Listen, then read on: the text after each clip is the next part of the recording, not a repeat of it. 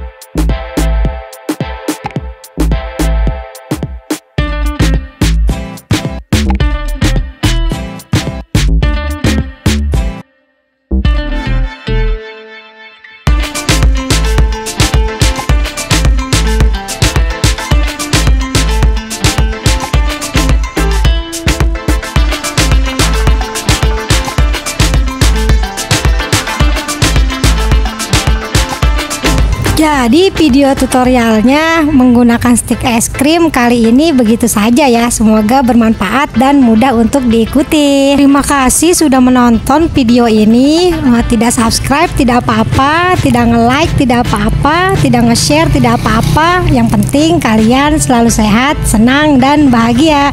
Assalamualaikum warahmatullahi wabarakatuh. Jangan lupa tonton video sebelumnya ya.